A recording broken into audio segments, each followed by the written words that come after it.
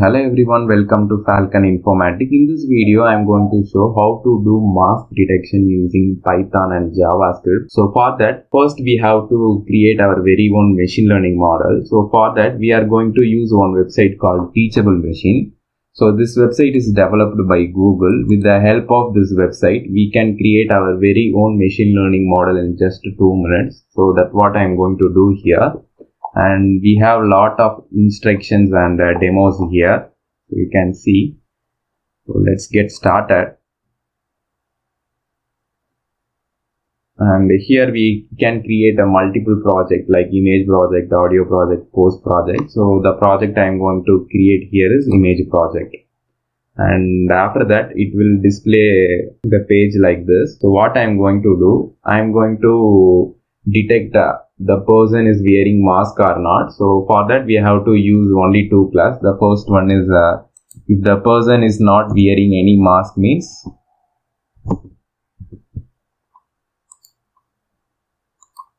just give class name as no mask and if suppose if the person is wearing mask means we are going to say a mask Next, we have to feed input images. So that can be done in two ways by using webcam or else you can uh, upload from your system.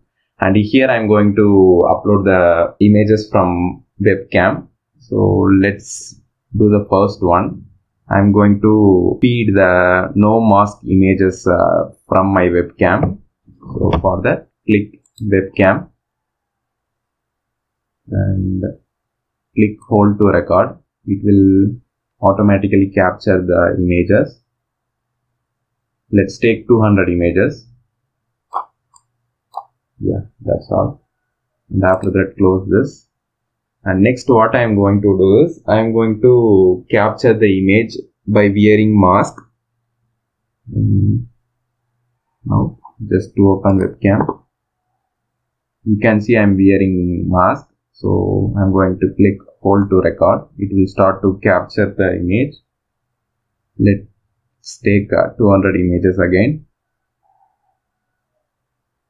Yeah, that's all. Then close the webcam.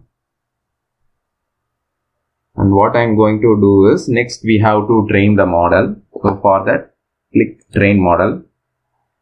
It will just takes two or three minutes to create our model and you can see now the model starts to train.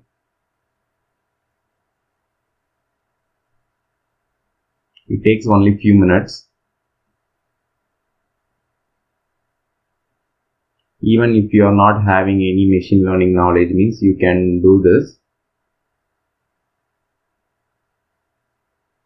And also if you are not having any knowledge in deep learning or neural network also you can create a model.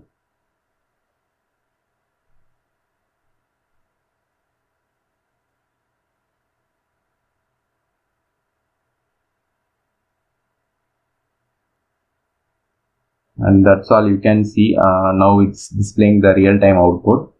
And now I'm not wearing any mask so it says like uh, no mask. And now I'm going to wear the mask so for 100% it's showing a mask. You can see. So the accuracy issue is because of poor lighting behind me. That's why. And now what I'm going to do is I'm going to export this model. So here we have two options. We can either uh, get a code in JavaScript or else uh, we can get a code in Python. So first I will explain uh, in JavaScript. So for that click uh, this p5.js and you have to do upload my model. So if you are clicking this means your model will be uploaded in uh, cloud and it takes around uh, 30 seconds. Yeah, it's completed. And after that what we have to do uh, just to open the online p5.js compiler click here and open link in new tab. And here the online web editor will open and close the unnecessary things. And what I'm going to do first you have to copy this program.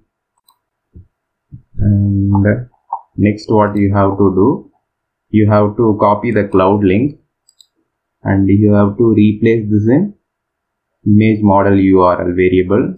So I'm going to replace that here. And after that just run it.